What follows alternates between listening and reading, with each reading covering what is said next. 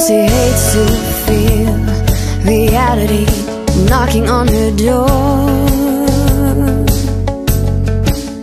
So she injects herself now before she makes sure there's always more.